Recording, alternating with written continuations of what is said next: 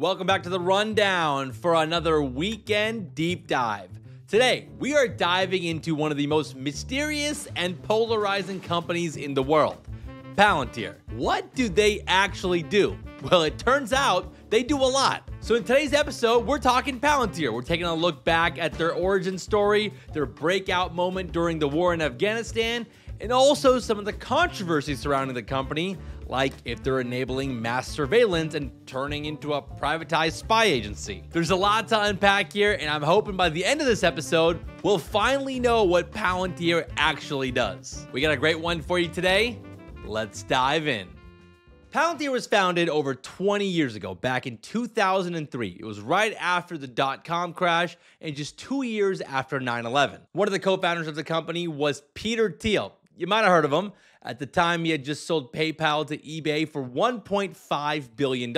And he had this idea of taking the fraud detection software that PayPal used and apply that software to fighting terrorism. Basically, he thought that he could help the government connect the dots from all of the data they were collecting and use that to stop future attacks. That was the original vision behind Palantir. Now, if you're like me and you've never seen Lord of the Rings, the word Palantir might not mean anything to you. But apparently, it's a reference to some crystal balls from the movie. I mean, I gotta say, kind of an ominous branding choice for a data company, but it's definitely memorable. I gotta give them that. And it kind of makes you wanna watch Lord of the Rings, but unfortunately, I don't have 12 hours to burn. Now, getting back to Palantir here, fast forward to 2004, and Peter Thiel brings in his Stanford Law School buddy, Alex Karp, to be the CEO. And if you guys haven't seen Alex Karp, the dude is a character, all right? He's not your typical tech bro. He's a philosopher and he has a PhD in social theory. And his take on tech is way different from the usual Silicon Valley crowd. From day one, he was focused on Palantir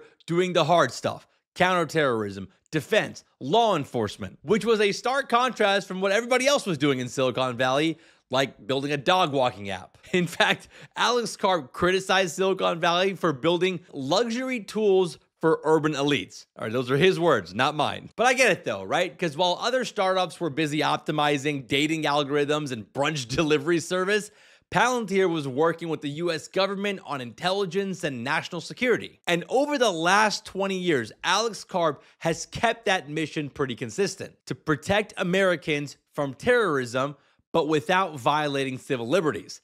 We're going to get to that part in a bit. Now, these days, Alex Karp has shifted his focus to talk about artificial intelligence. In fact, he's sounding the alarm on AI, calling it an Oppenheimer moment. He's warning that if democratic nations don't lead the charge in AI, then authoritarian governments will. In fact, he wants the US to launch a Manhattan Project to lead in battlefield AI. No surprise here, but I'm pretty sure Alex Karp would want Palantir to play a pretty big role in that. But yeah, he's made it pretty clear. He thinks that Silicon Valley has a moral obligation to support the West and not just waste time building the next photo sharing app. So yeah, I got a feeling the vibes at Palantir HQ probably pretty serious. They probably don't have many nap pods or ping pong tables.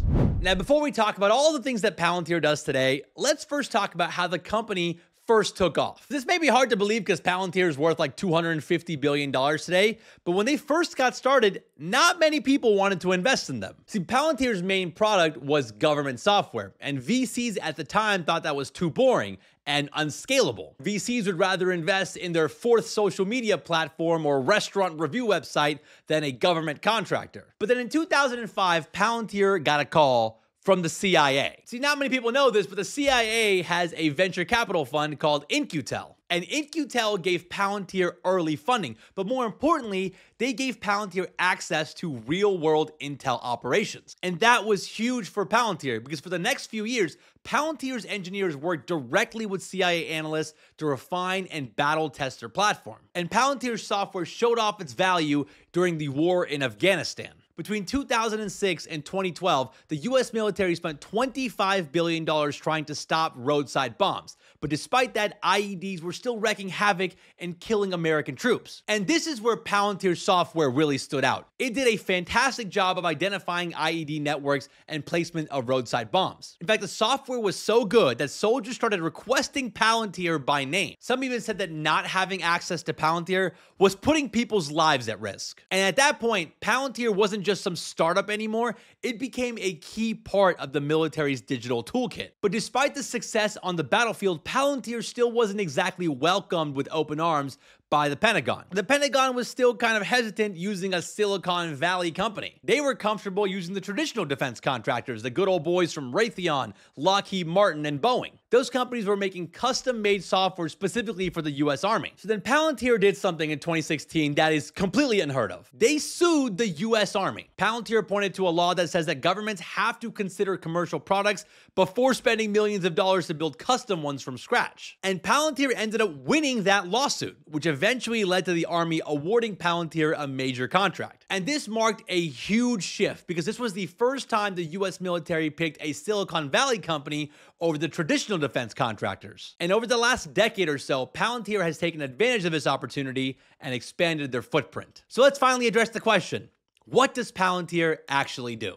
Palantir has become one of the biggest tech companies in the world. They have a market cap of over $250 billion now, making them more valuable than Salesforce and IBM. And what's crazy is that those companies make 10 times more in revenue than Palantir does today. But that hasn't stopped investors from rushing in to buy their stock. Last year, Palantir was the best performing stock in the S&P 500, up 340%. And heading into this weekend, it's already up more than 50% this year. It's now become one of the most popular stocks with retail investors up there with Tesla and Nvidia. But now let's talk about what Palantir actually does. What is the product that they sell? How do they make money? According to Palantir, they are building the operating system for the modern enterprise in the era of AI. I know that's a lot of buzzwords, but Let's break it down. Palantir has two main types of customers. One of them being governments. I'm not just talking the US government, we're talking international governments as well. And this includes military, intelligence, and law enforcement. And the other type of customers they have are big corporations. And it's across pretty much every industry finance, healthcare, energy, and logistics. And Palantir sells these customers three core software solutions. The first one is called Foundry. Foundry is used by companies to organize all their messy data and find insight to make smarter decisions. It's kind of like having a management consultant, but with software and without the overpriced PowerPoint decks. Foundry pulls in all the company's data, they clean up that data, and they help build dashboards, models, and workflows to improve operations, spot inefficiencies, or forecast outcomes. Now, the other software that Palantir offers is called Gotham. That's the software used by the military and the CIA to visualize networks, track threats, and plan missions. You know all the cool tech and software they used to show in the Jason Bourne movies back in the day? That's what I envision Gotham is like. Now, these software solutions have been around for a while now. Gotham was first launched back in 2008, while Foundry was launched in 2016 but it's Palantir's latest tech offering that's been a total game changer for the company. It's called AIP, and it launched back in 2023. AIP is an AI layer that sits on top of Foundry and Gotham, and it's been the main growth engine for the company. AIP lets Palantir's customers build and deploy AI agents that automate workflows and handle tasks like targeting enemies or optimizing supply chains. Just depends on the client, you know? Think of AIP like a chat GPT style interface for Palantir's tools. You can literally ask it what's going on with a supply chain in a certain region, and this software will generate an answer using real time data. And this thing has been a huge hit, not just with government, but across corporate America. Palantir said that demand for AIP was ravenous and it helped drive a 55% year over year growth in Palantir's US business. It's used by companies like United Airlines and AT&T, and some companies have even given AIP a shout out on their earnings call like Walgreens, Hertz, and Citibank. The success of AIP is helping Palantir expand beyond just government contracts. Their commercial business is growing fast. That being said, government contracts are still Palantir's bread and butter. It makes up 59% of Palantir's US revenue.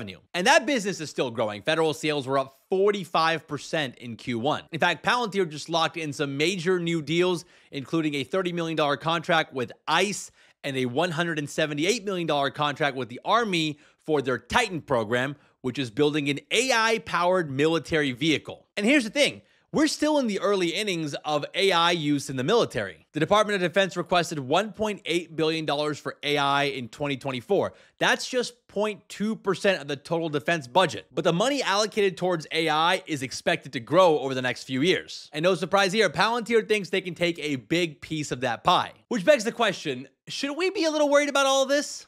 Well, let's talk about it.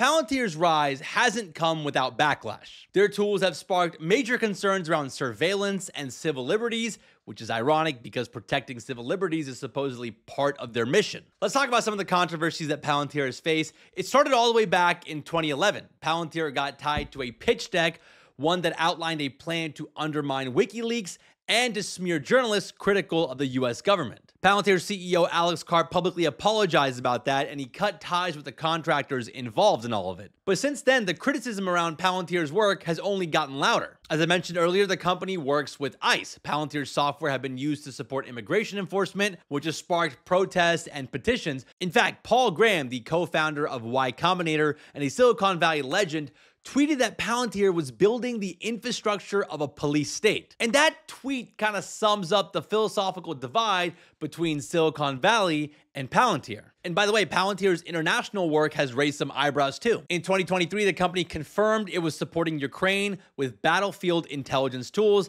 And then in 2024, they announced a partnership with Israel's Ministry of Defense to support unspecified war related missions. Now, the details of those involvements are vague, but both partnerships sparked debate about how AI is being used in modern warfare. Palantir insists it only works with US allies under democratic oversight, but their presence in active war zones remains deeply controversial. So the criticism against Palantir is loud, and it's growing louder. But Palantir, they're not backing off. If anything, they're doubling down, and their investors seem to kind of love it. So there you have it, a quick deep dive on Palantir and what the company actually does. The company's software seems to be powering everything from border security to battlefield AI to corporate boardrooms all around the world. Some see Palantir's work as essential, others see it as dangerous. But one thing is clear, Palantir has no plans to fade into the background. If anything, they're forcing a tough conversation about the role that tech plays in privacy, security, and our democracies. And while we're having those conversations, some of their investors are getting very, very rich. Well, all right, guys, that's it for today's weekend deep dive. Hope you guys enjoyed that episode. If you did and you have like 12 extra seconds, consider giving us a five star rating on Apple or Spotify. We recently crossed 5,000 five star ratings on Spotify, so thank you guys so much for that. It's an incredible milestone and it could not have happened without your guys' support. And just like Palantir, we have no plans on slowing down. Remember, we film these weekend deep dives with videos, so if you want to see me talk about Palantir and some interesting graphics and charts, watch this episode episode on Spotify or YouTube. And if you guys have any topics that you think we should cover in future deep dive episodes, let us know in the comments. Thank you guys again for spending a part of your weekend with us and listening to this show. Shout out to Mike and Connor for all the help behind the scenes. And we'll see you guys back here on Monday.